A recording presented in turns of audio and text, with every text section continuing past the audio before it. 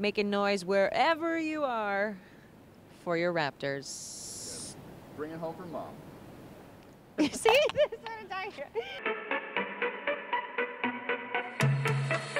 What's up, everybody? It's Kat here, and it is a beautiful evening here in the square. And no matter if it's rain or shine, you know these guys are going to show up to support the guys down in Philadelphia. And speaking of Philadelphia, let's see what's happening in Philadelphia.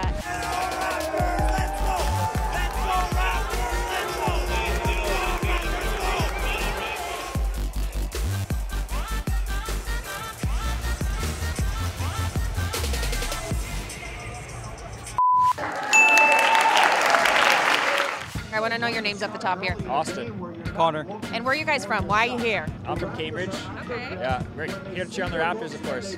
And have you? Is this your first time in the square? Yep. What are some of your favorite memories from the season?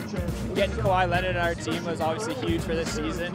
And then just the, the trades throughout the season, like acquiring Gasol, that was huge. And just the way that Masai's been running the team, I've just been I've been fired up all season.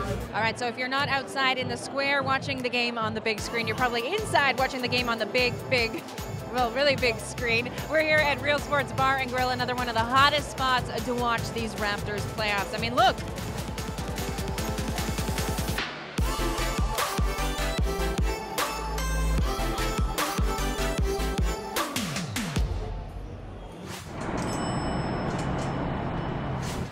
This series is going to be tied at three games apiece. Game seven at home in Toronto, Sunday night.